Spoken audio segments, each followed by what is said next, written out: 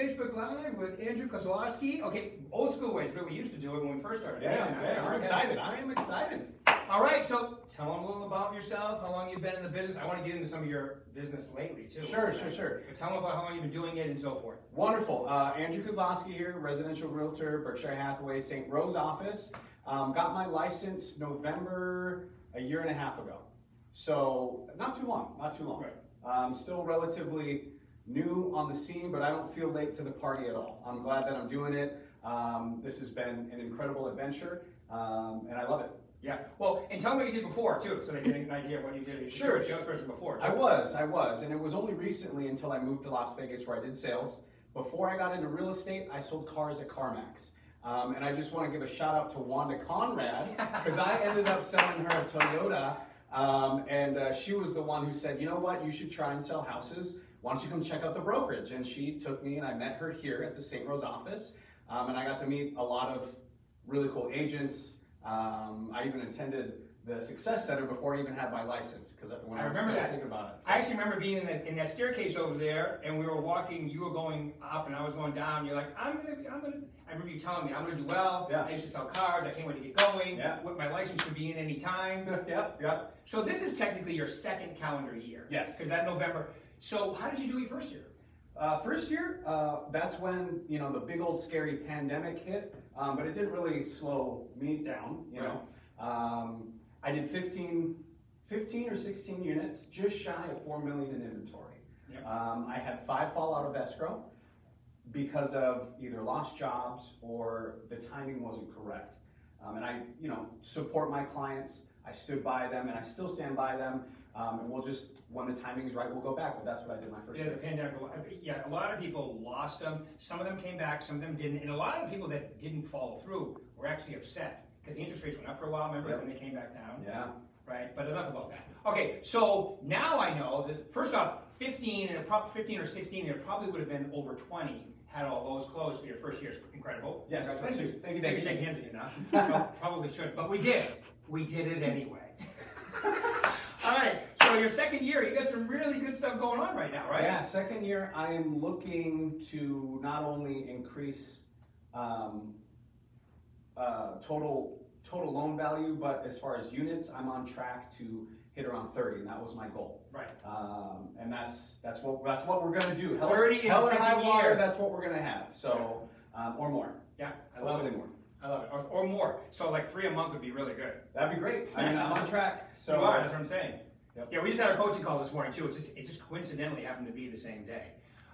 But tell them like, tell them the story you told us today on the coaching call about the guy from California, San Diego. Sure, sure, sure. Buying the one, you know, tell them about that. That's Absolutely. an incredible story. Yeah, real quick before I get into that, if you're not in Rick's coaching call, you need to be, please. I mean, it's helped my uh, business grow, so thank you very Thank you. much for that. You can see why he does what I'm telling and, and the accountability is great. Plus, being able to actually, you know, springboard stuff off Rick, it's been incredible. Thank you very Um, much. I but this morning, the story that I told this morning is I had a renter come to me from California. So um, again, thank you, California, for providing uh, clients to my business. Um, Who's the, what's the guy's name was responsible? uh, Mr. Newsom, I believe. Mr. Newsom, Governor Newsom, best realtor in California. Thank you for the referrals. we Um, joke about that. Uh, he came to me from San Diego. He was looking to rent out here. He his plan was to move his business from San Diego to California, um, just because of the tax changes. And if you're in California and you're watching, your taxes did go up. Uh, but he came to me as a renter, and I presented to him not only rental listings, but as well as purchase listings.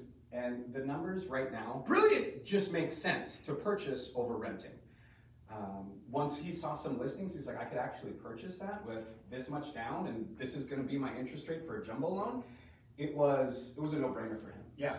Especially moving from moving, he's moving his complete business. Yes. So, so what did he end up buying? He ended up buying a 1.55 million dollar home in Red Rock Country Club, and it is absolutely pristine and gorgeous. I love it. I love Red Rock. It's a beautiful place. Absolutely gorgeous. I live not too far from there. it's a beautiful, and you know what? The golf courses are great there too. You can play golf. So, because of the savings and so forth, what was the line he told you? I think is great. Um, Something about he's he's actually moving his whole company here too, isn't yeah, he's moved his whole company uh, in taxes, I think, right? Right, Yeah. yeah. So just from moving his company from California to Nevada, the amount that he's going to save at the end of this tax, you know, the fiscal year, he's gonna be able to buy this house for free, essentially.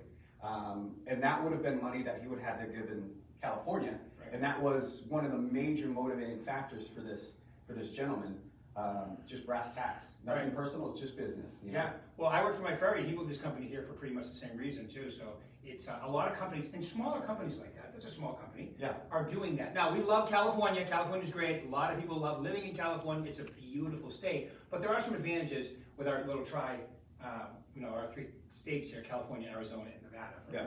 From, anyway, so, and he- how many people is he moving here? Well, he wants to move his entire business. He's got around fifty to sixty employees, so, um, you And what did he ask you? He asked me if I did relocation packages, and I said, yes, absolutely. Yeah, we role played that, I gave him a script that goes like this, let me think about it, yes.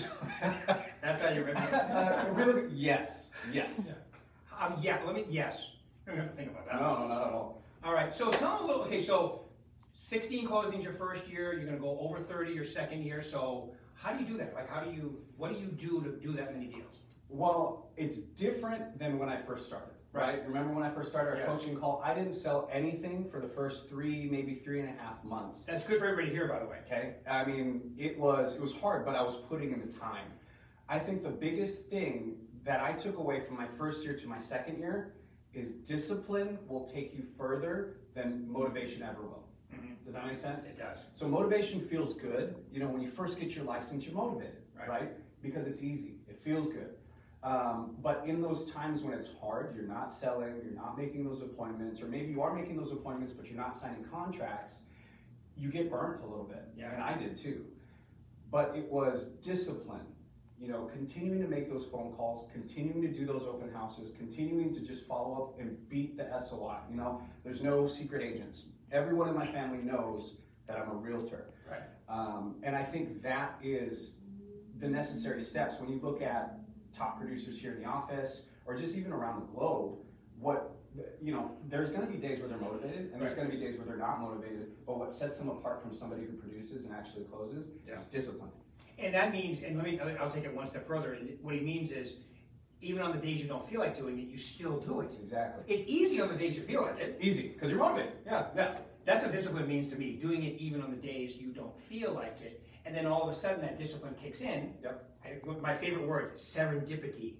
And then all of a sudden it comes together. Yep. And then you're like, wow, what, even, even a week later, you can go from, what the hell am I doing in this business to, oh my God, I got three deals in escrow. Yeah.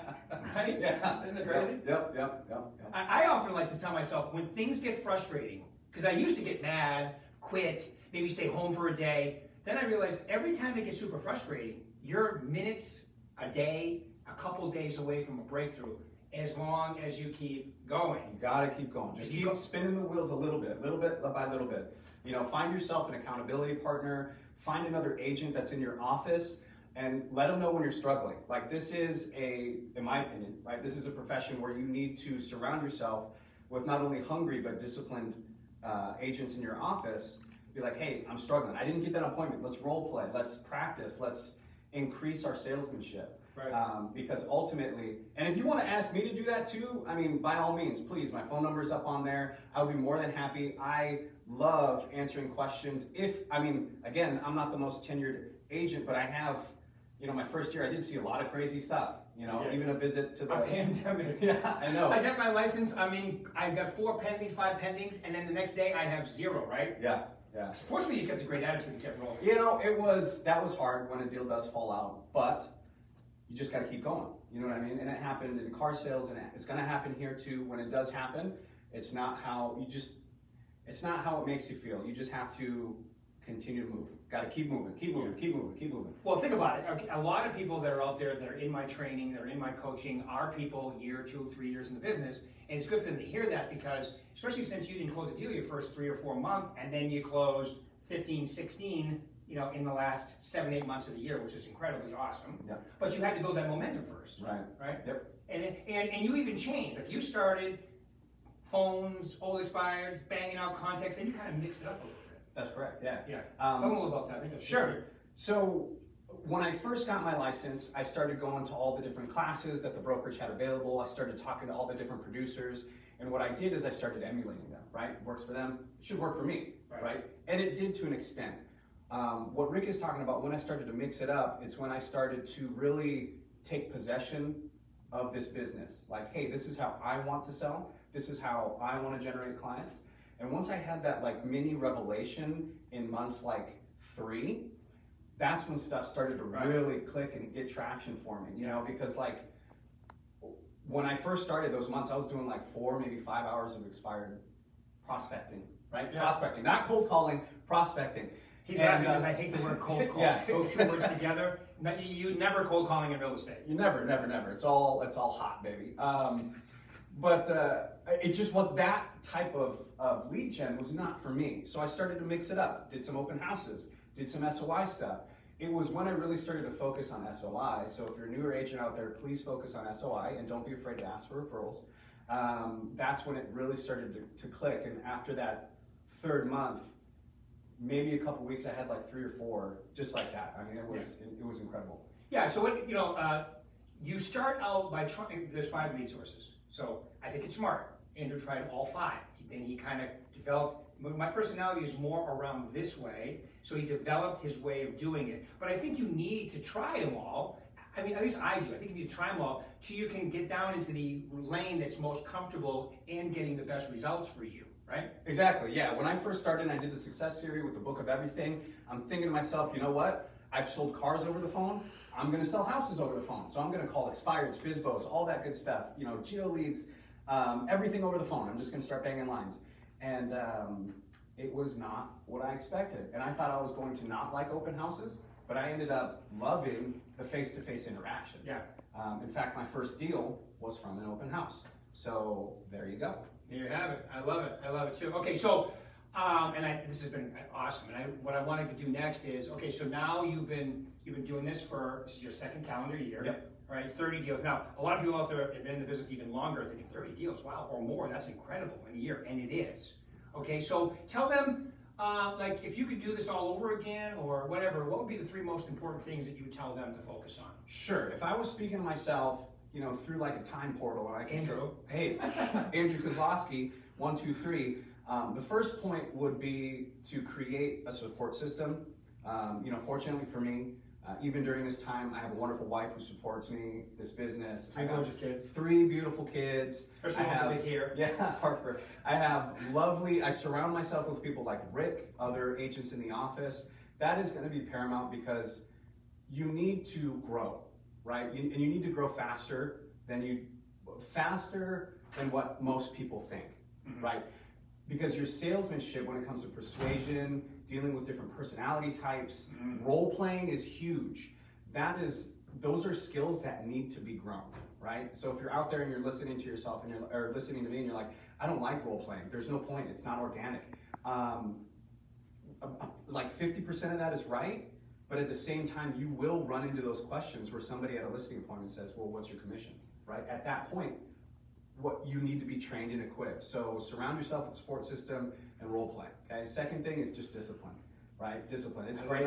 It's great to be motivated, but discipline is going to take you further in anyone's career. I mean, just look at the people who've been doing it for, you know, I'd say five plus years. Yeah. Right. Just even five plus years is impressive to me because they get into a rhythm, they know what works for them, and they stick to it. Um, third thing is, is just uh, have fun. It really is. There's so many times where when I first went to listing appointments, I, I remember my first listing appointment, it was an expired for around like $860,000. Wow. Yeah. That was your first appointment? My first, very Wow. first listing appointment, and I was so nervous that they just ate, they just ate me up. They knew that I was a new agent, like about halfway through the listing presentation, they said, hey, you're a new agent, aren't you? And I'm like, yes, I am, and there's nobody who's gonna work harder than me. Um, but since then, my listing presentation has changed. I'm much more comfortable with, with how I present. Um, and I am who I am on the phone, you know, in the office, and I think that's really important because Yeah. you can, somebody, people can tell, like even other agents, you can tell when you're being disingenuous. Is that a word? That's Yeah. a word. Yeah, it's, it's close Oh, enough. yeah, it's close enough, close Yeah. enough. But you can tell when you're No, not think you can being like genuine, right? And I think that is very important for Inauthentic. everyone. Authentic, yes. Yes. Okay. Um, That was easier for me to say. so just be yourself and have fun. You know, it's a party. Welcome to the party. You know, we're all here. Everyone's a realtor in this office, obviously. Um, just have fun, be you.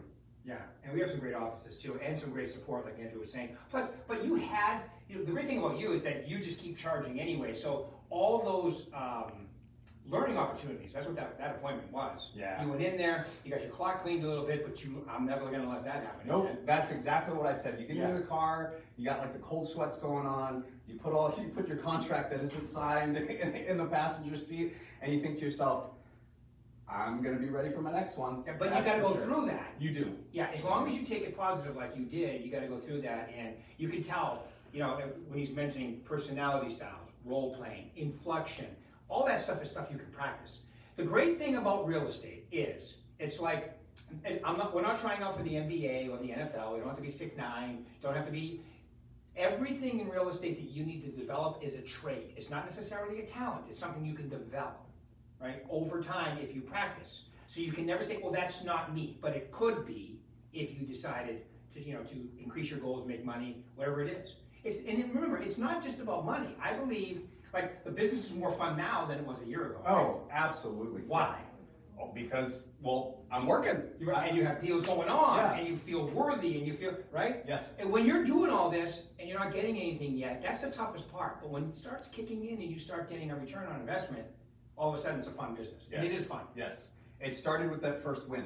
It Yeah. started with the first win. Get after your first win. It's out there. It's out there for everyone. Um, you know, for newer agents and even older agents. There's wins out there, um, and it's your responsibility to go out there and make it happen. Absolutely. I'm gonna we're gonna finish on that. That was awesome. Thank you very much for taking your time today, my man. Hey, awesome thank you. Thanks for having And me. you too can do that if you want to. It depends, you know, you have high goals and you started with high goals, Mhm. but whatever your goals are, you, you, you wanna sell ten, you wanna sell fifteen, you wanna sell a hundred, you know, it's possible if you just start down the road. And remember, folks, we're in a very tight inventory market. That's the bad news. Here's the good news. March, April, May, and June, for most of our markets, is where 60, 65% of the listings for the year come on the market. So even your buyers, like we're, you have like four buyers you have under Yeah, contract I do. now, right? Yep. So make it easier, or just go knock neighborhoods and find the, you know, the houses for them too. You can do that. Yeah. So many things you can do. Thanks for your time, my man. Thank you. Appreciate everybody. We'll see you next week.